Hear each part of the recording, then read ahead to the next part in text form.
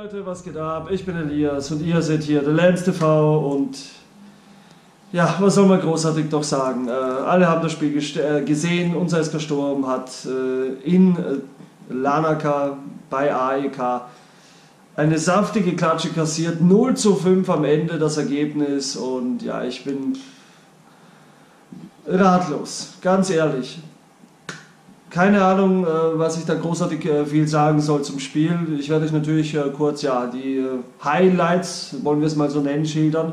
Aber nur für alle Lanaka-Fans. Ähm, aus unserer Sicht war das ja ein kompletter Abend leider mal wieder zum Vergessen. Die dritte Niederlage am Stück für die Schwarz-Weißen, ohne ein eigenes Tor erzielt zu haben. Und ähm, ja, die Leistung wird kontinuierlich schwächer. Also das muss man ganz klar sagen. Ähm, ich habe auch keine, ehrlich gesagt, wirklich keine Lösungsansätze, wie man das irgendwie jetzt besser hinkriegen sollte. Es tut mir auch leid, aber ich bin da selber ein bisschen desillusioniert im Moment.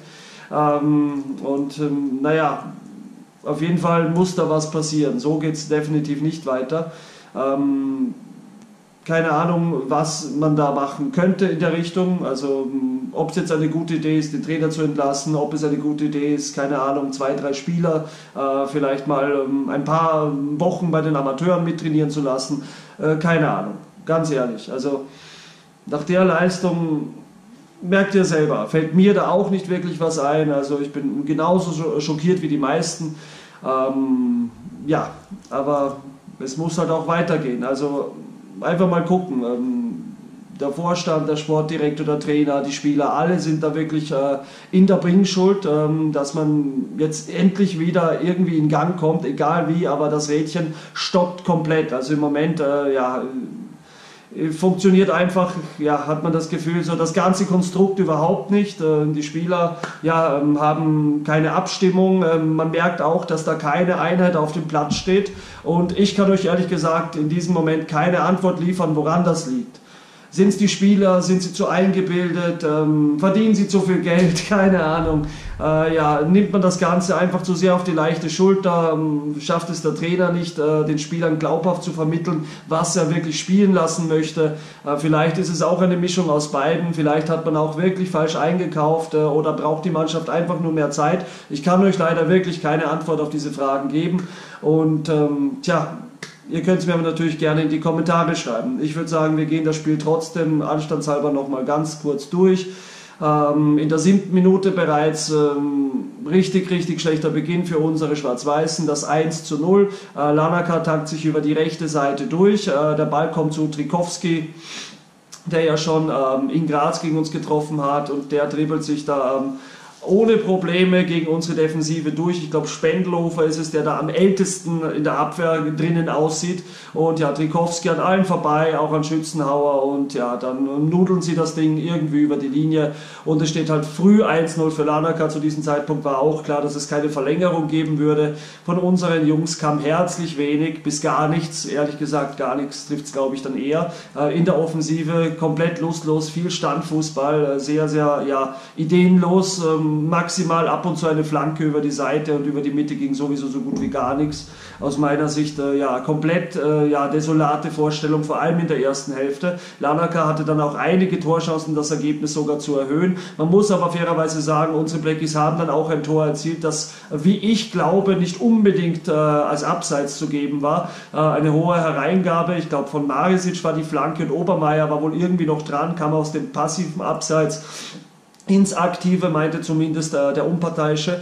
Und ja, der Ball war im Tor, wurde aber eben wegen Abseits nicht gegeben. Ich konnte es persönlich nicht hundertprozentig ähm, erkennen. Ich hätte eher gesagt, es war kein Abseits und die Regelauslegung ist ja im Zweifelsfall für den Stürmer, also, also für den Angreifer. Okay, hat man nicht bekommen, darf an der Stelle keine Ausrede sein, aber ist natürlich schon bitter gewesen. Das war so in Minute 10 herum, also wenige Minuten auf jeden Fall nach dem Führungstreffer für Lanaka. Danach erste Halbzeit, ja, auch Lanaka mit einem Tor, das, oder zwei Toren, glaube ich sogar sogar, die nicht gegeben wurden. Ähm, ja, sehr, sehr viel Glück für unsere Schwarz-Weißen, ähm, wo Lanaka schon wieder durch war. Das Tor war eigentlich schon leer und dann äh, lässt der Lanaka-Angreifer sich hinfallen und er äh, berührt dann äh, mit dem äh, Arm den Ball und deswegen wird die Situation dann abgepfiffen. Da hatten wir richtig Schwein. Klar, die Situation abzupfeifen, aber ja, mit jedem anderen Körperteil hätte er den locker über die Linie drücken können. Da hatten wir wirklich noch Glück im Unglück, muss man sagen, dass es dann zur Pause nur beim 1-0 geblieben ist. Ähm, ansonsten auch keine nennenswerte Torchance für Sturm in der ersten Halbzeit. Im zweiten Durchgang haben unsere Jungs dann wenigstens so gute 10 Minuten, Viertelstunde von mir aus, ein bisschen den Willen erkennen lassen, äh, dass man ja gewillt ist, zumindest ja in Richtung Torabschluss ein bisschen was zu versuchen. Ähm, gelungen ist am Ende nicht wirklich viel. Die beste Chance meiner Ansicht nach äh, für unsere Blackies, das war dann eh so nach knapp einer Stunde. Ähm, von äh, Peter Schul. Äh, zunächst spielt Schul, nachdem er sich äh, einmal gegen ein paar Gegenspieler durchsetzen kann, schön raus. Ich glaube auf Pink, der wieder mit der Hereingabe in den 16er Hosiner kommt nicht ganz an den Ball, spitzelt ihn aber gerade noch in Richtung des gegnerischen Keepers. Der wehrt den Ball ab und Peter Schul hätte eigentlich das Tor machen müssen, verstolpert diesen Ball wirklich kläglich, also trifft den Abpraller einfach nicht richtig und es ist halt so, so richtig symptomatisch für die aktuelle Situation. Es will halt einfach nichts zusammenlaufen. Das wäre halt die Riesenmöglichkeit auf das 1 zu 1 1 gewesen. Sadilovic hat entweder knapp vorher oder wenig später, ich bin mir nicht mehr ganz sicher, die gelb-rote Karte dann gefressen.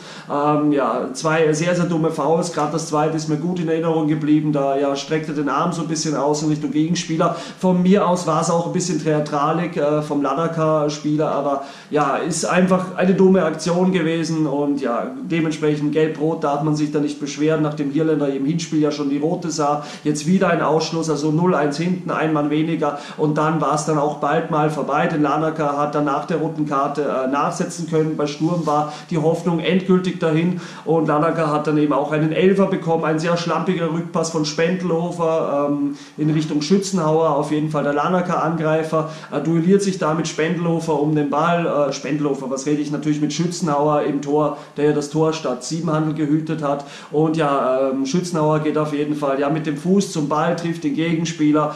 Man hat es in der Wiederholung ganz gut gesehen und ja, der Elfer war im Endeffekt dann ähm, auch berechtigt, was mich persönlich sehr geärgert hat. Zunächst hat man nämlich nicht feststellen können, ob das jetzt ein Elfmeter war oder nicht. Also es war wirklich eine komische Situation, ob der Schiri den Elfer gegeben hat, denn im Endeffekt von Schützenauer kaum eine Reaktion. Spendlow hat sich so ein bisschen aufgeregt, aber also äh, für mich äh, hat die Mannschaft in diesem Fall da schon aufgegeben gehabt. Also auf mich wirkt es einfach so. Der Elfer war dann natürlich auch souverän drin ähm, und das war eben dann das 2-0 durch ähm, Lanena, Lanema, keine Ahnung, habe mir den Namen auch nicht gemerkt, ist auch nebensächlich, auf jeden Fall war das äh, die Entscheidung und nur eine Minute später das dritte Tor, ein hoher Ball in unseren 16er oder äh, vor unseren 16er, Avlonitis und Spendlofer kommen, äh, ja, Trikowski nicht hinterher und der vollendet erneut äh, zum 3 zu 0, ähm, das war eben der Genickbruch danach von unseren Jungs, eigentlich auch gar nichts mehr gekommen, äh, nur Melanaka, die dann ja gnädig waren eine Zeit lang, erst in der Schlussphase haben haben sie dann wieder